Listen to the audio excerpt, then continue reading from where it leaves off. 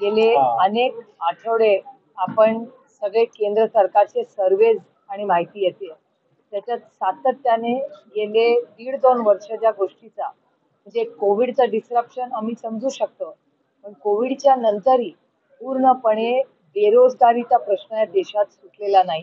आजच सकाळी एक रिपोर्ट आलाय ज्याच्यात जवळपास पस्तीस टक्के आय आय टी जी या देशातली सगळ्यात उत्कृष्ट संस्था आहे. म्हणजे मुलात किंवा मुलगी आय आय टी किंवा आय एम गेलं म्हणजे आयुष्यातच सार्थक झालं. असं एक आई वडिलांचा समज आणि आपण पाहिलेलं आहे ते. आय आय टी सारख्या संस्थेच्या जवळपास चौतीस पस्तीस टक्के या बॅचच्या मुलांना नोकऱ्या मिळत नाहीये हे अतिशय चिंताजनक आहे. आणि मला असं वाटतं की ह्याच्यातून केंद्र सरकारने आत्मचिंतन केलं पाहिजे की आय आय टी सारख्या संस्थेमध्ये आणि ते पण आय आय टी मुंबई जी फ्लॅगशिप संस्था या देशाची.